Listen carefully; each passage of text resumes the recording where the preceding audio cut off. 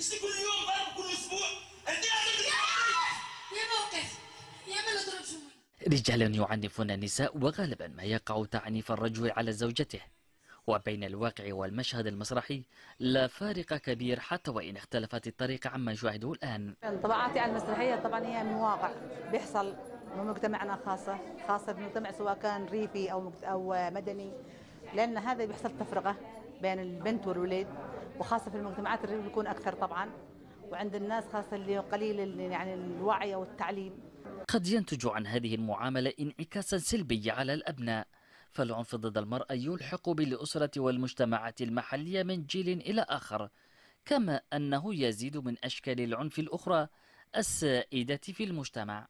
أغلب الشباب الذي انضموا عندما تمت الدراسات والتوجه إلى هذه ال- الفصيل وجدوا أنهم الشباب الذي كانوا يعانوا من صراع عائلي. لحج إحدى المحافظات التي تنتشر ويزداد فيها العنف ضد المرأة حيث وصلت نسبة النساء المعنفات نحو 70% منذ اندلاع الحرب في البلاد.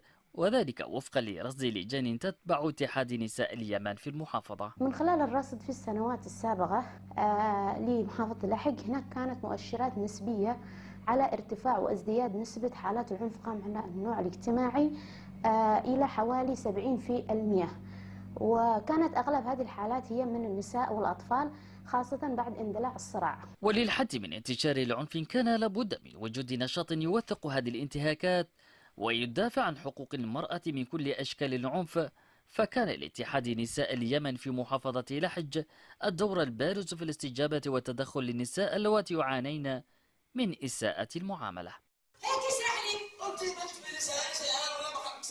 عوامل عدة ساهمت في تفاقم العنف في أوساط المجتمع نتيجة الحرب وتدهور الوضع الإنساني واستمرار الصراع في البلاد وازدياد حالات النزوح للمحافظة بشكل متواصل كل ذلك ساهم بشكل كبير في ازدياد العنف القائم على المرأة. مختار شعتل لقناة بلقيس محافظة لحج